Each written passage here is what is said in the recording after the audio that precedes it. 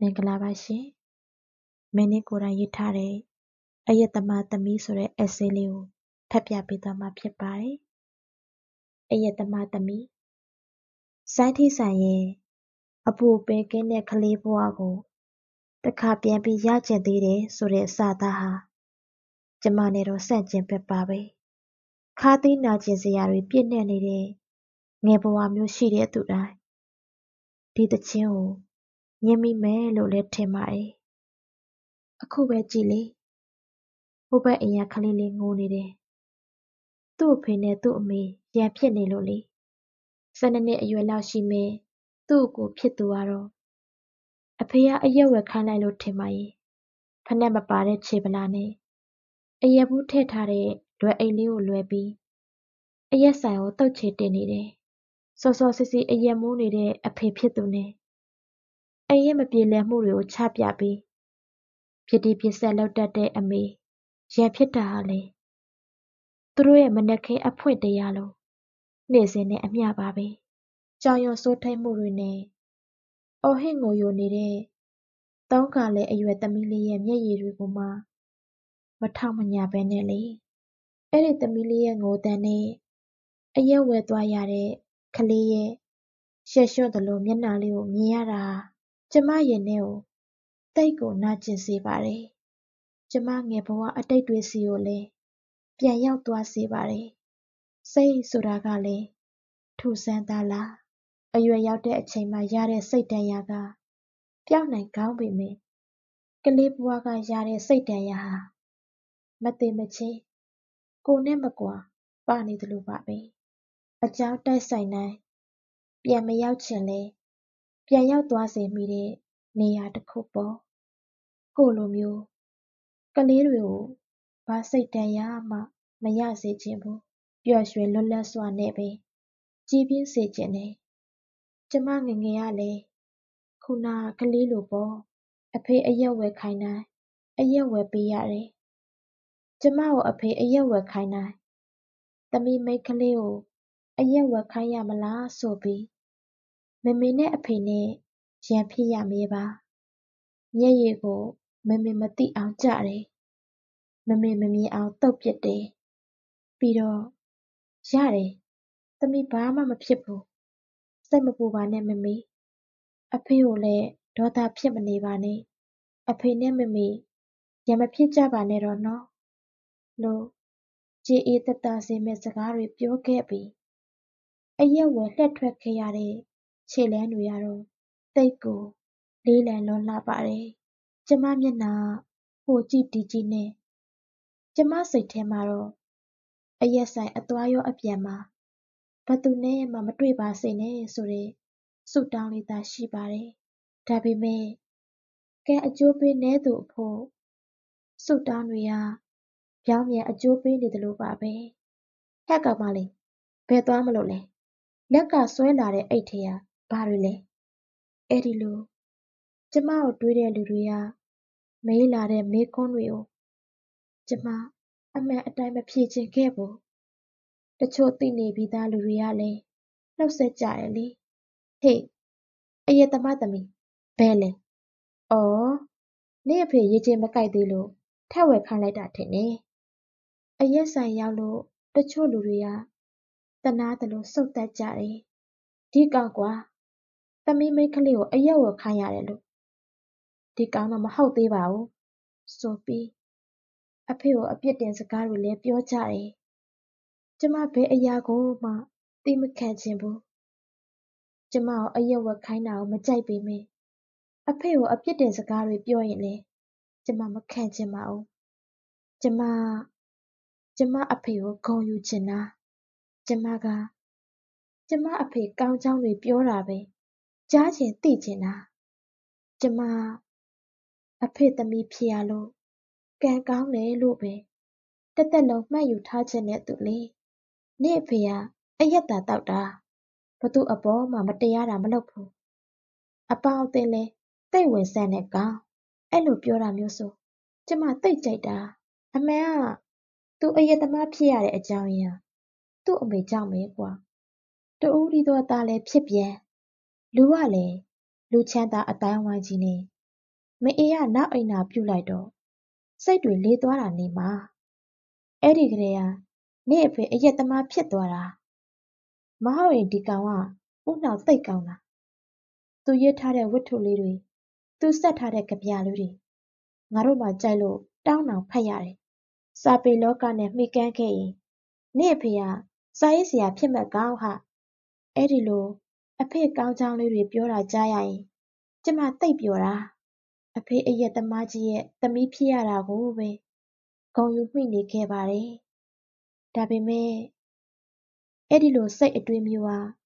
အရနည်းလို့ထင်ပါရဲ့။အရက်သမားသမီးလို့ခေါ်တဲ့အသံတွေမတူမတန်သလိုဆက်ဆံပြီးဖယ်ကျဉ်ထားလိုက်ကြတဲ့မျက်နှာထားတွေဟာ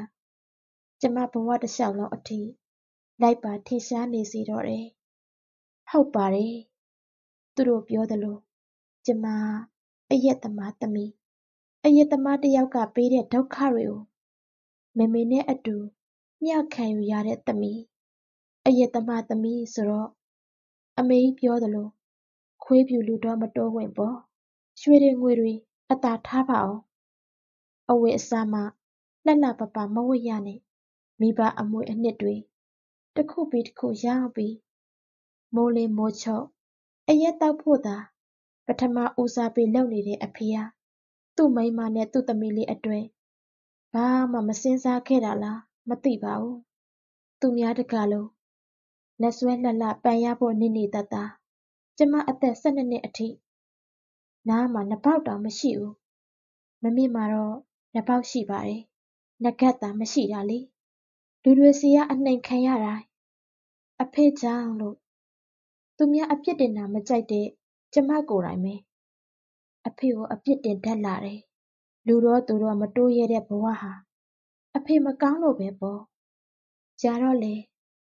အဖေကို အပြစ်တင်ရင် မချစ်ချင်တော့တဲ့စိတ်အထိ ဖြစ်လာခဲ့တယ်။သေစာရှင်စာလောက်တတ်တဲ့ အတန်းပညာနဲ့ ကျောင်းပြီးလိုက်ရတဲ့ ကျမဟာ အိမ်ရဲ့စားဝတ်နေရေးကို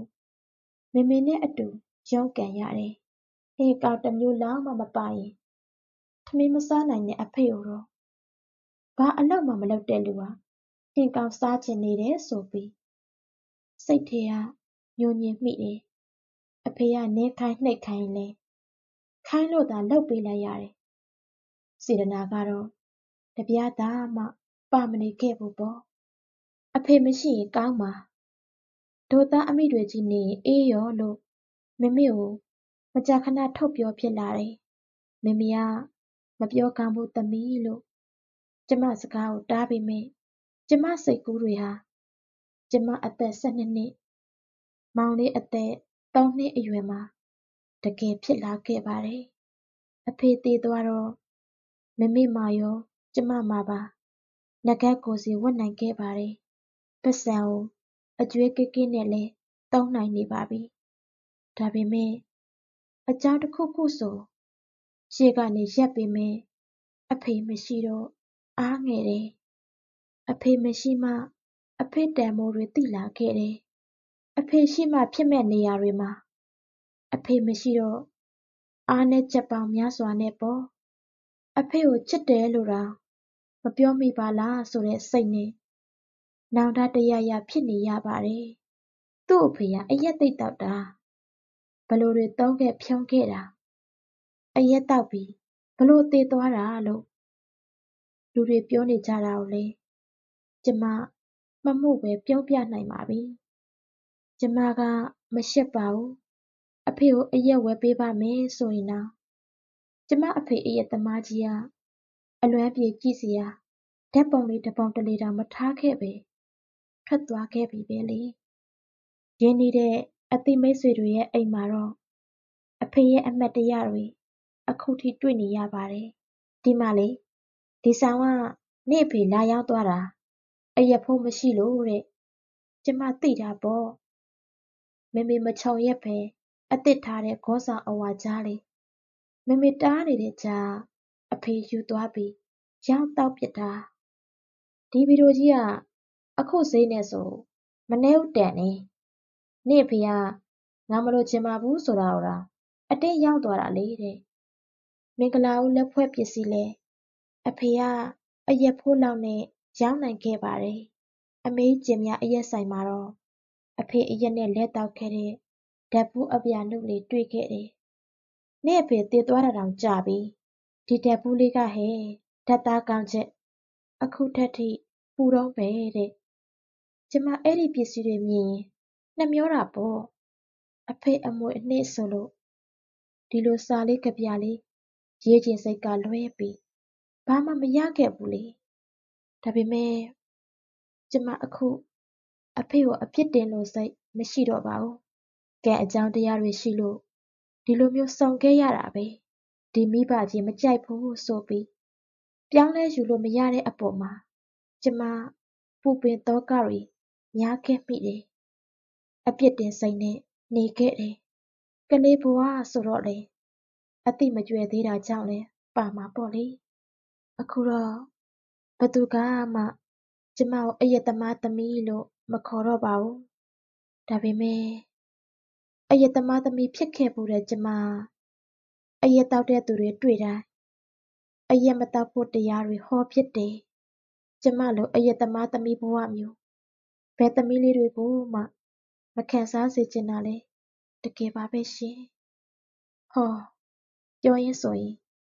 စောစောကအရက်သွားဝယ်တဲ့ကလေးတောင်ပြန်လာပြီ။သူ့ကိုရောဘသူကအရက်သမားသားလို့ခေါ်လိုက်သေးလဲ။သူကရောစိတ်ထဲဘာတွေတွေးနေမှာလဲ။ကျမလိုများသူ့အဖေကိုမုန်းမိနေရင်တော့ဖြင့်လျော့ပါပျောက်ကွယ်ပါစေကွယ်။မင်းနှစ်ဆက်